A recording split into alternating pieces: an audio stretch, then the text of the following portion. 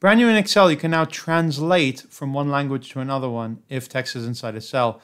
I'm going to show you how to do this. My name is David Benaim. I have tons of videos on Excel, PowerPoint, Google Sheets, Zoom, Teams. If you're using Tech of the Workplace, I'm covering on my channel. So at the time of making this video, this is only available for the beta channel, but it is coming soon for all users of Microsoft 365. For anyone that wants access to this kind of feature early, you can do a similar kind of thing in Google Sheets and another video that talks about that. By the way, if you just want to get access to this file, then there is a link in the description for how you can download this file. All right, let's get started. So if you write equals translate, if you see what you want in blue, then you press tab to lock that in. So I have here text, source language, and target language. So the text is going to be this. The source language is going to be this one.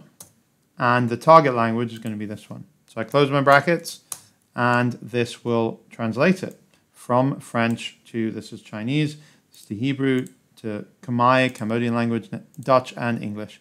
By the way, if you don't want this to happen, you have this and you can choose fill without formatting, then you will keep the line at the bottom of the list.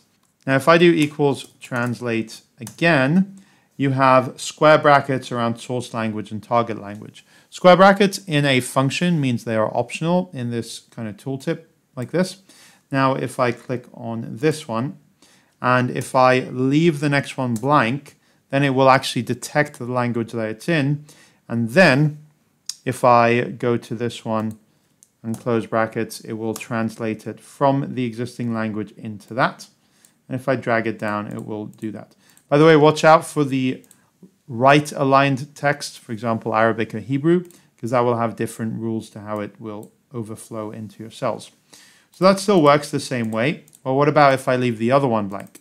So if I do equals translate and I just do the text and then I do comma blank comma blank or if I just close my brackets immediately then it will translate everything into the system language on my computer, which in my case is English, in your case might be another one. Note that it doesn't get it exactly right this the original time. It went from check out this file to view this document, view this file, etc. So it won't be exactly identical, but it works well enough for you to understand what is going on. When you are using Translate, then if you have something there, if you press the source language, it will give you this list of which language you can choose from. And there's lots and lots of languages here, which is great. What I wish would happen is I could start typing. For now, you just have to scroll down the list, look for the two-letter code, and then select it when you have it. So let's do uh, Indonesian from detect language and close my brackets and it will transfer it like that.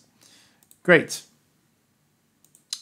Now, it will work with a whole host of paragraphs. I have used this quite a bit during my work in Google Sheets before the Excel one was released. So this is from French, so I could do equals translate this one. Source language, usually leave that blank is fine, and then target language. Also, I can leave that blank because I want this in English, but let's uh, translate it to something else, like Catalan.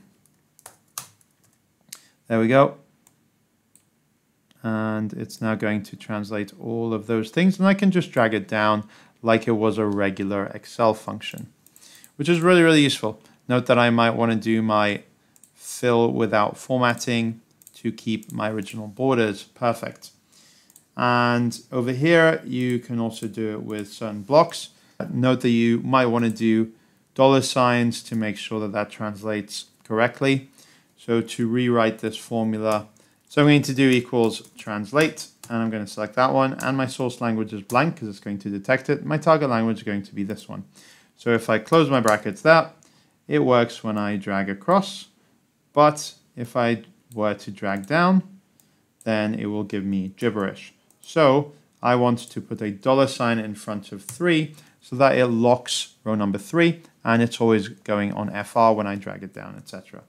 So if I do that and I select these cells and go Control R, R to fill right, and I then go down here, Control D, D to fill down, that will fill it down perfectly. Again, note the right alignment in certain instances, perfect. Sometimes I will put an if error around it to uh, just replace something with nothing if there isn't something there. Otherwise, it will give you this kind of value error. So an if error will kind of block it in a nicer way. And if you are going to do this, it is good to make a list of the actual codes and then do this as a drop down list from there. The other new function that came with it is detect language. So way less interesting, but equal detect language, you just have text and you can click on that, close your brackets, and it will guess what the language is in those two letter codes.